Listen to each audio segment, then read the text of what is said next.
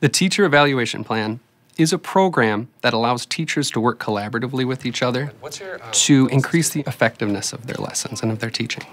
First of all, it's teacher-led, it's teacher-driven. It's, you know, within our school, it was a locally developed plan, and it is really going to be something that is going to improve what we're doing and help us become better teachers.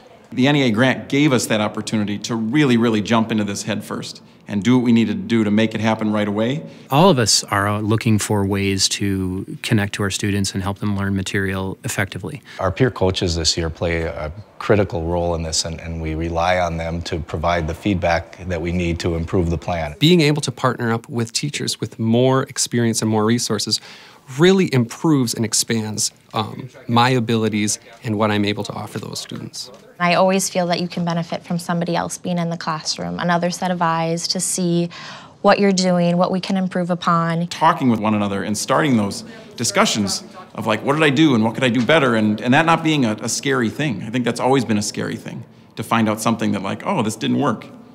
Well, you know what? Not everything works, and now we're going to figure out a way to make it better. I teach art, and I am the only person who teaches art in the high school. I don't see a lot of other adults in my classrooms, it's all students.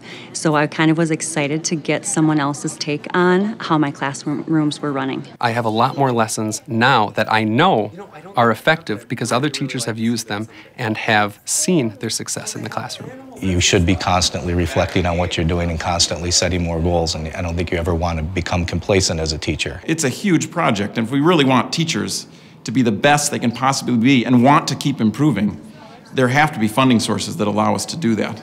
It's a continuous improvement model, so we're, we're always working on new goals and new ways and new ways to, to, to improve teaching and learning. It'll become a much more culture of we all of us are teaching these kids. It'll start a real partnership, I think, between not only the administration and the teachers, but the teachers and the teachers. I think it's, it's turning out to be a really great thing and something that teachers and students can both benefit from. When teachers work together, student performance goes up.